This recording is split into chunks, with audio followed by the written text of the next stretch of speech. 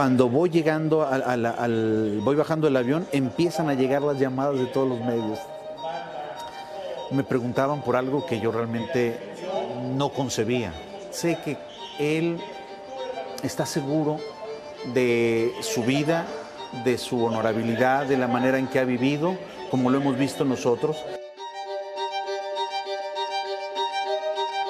La detención de Nazón Joaquín causó estupor en la comunidad de la luz del mundo, en donde se le tiene por un representante de Dios. Cristo habita en el hermano Nazón. Él es la fuente. Él es la fuente inagotable para darnos esa sabiduría que Dios le da a él. Los cercanos lo defienden porque lo conocen.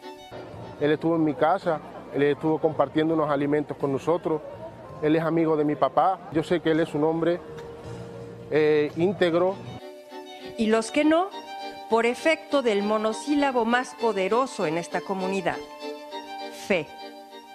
Yo te lo puedo explicar, pero no vas a sentirlo, no, va- no te va a llegar la emoción a lo mejor igual que yo lo sentí, ¿no? Hemos visto el cambio de miles de personas que han sido transformadas de los vicios, de la prostitución, del homosexualismo. Y muchos nos aferramos, creemos. ¿eh? ¿Por qué? Porque somos fieles a su palabra. ¿Una palabra qué? De Dios.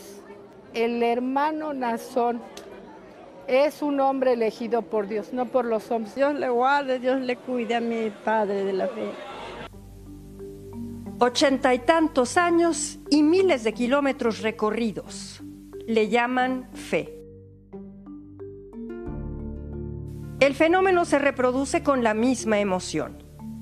Y están de fiesta, defendiendo con fe a su máximo pastor, acusado de 26 delitos sexuales y preso en California desde el 4 de junio, con toda su fe. ¿Qué pensaron? ¿Que no íbamos a hacer Santa Cena? Aquí estamos.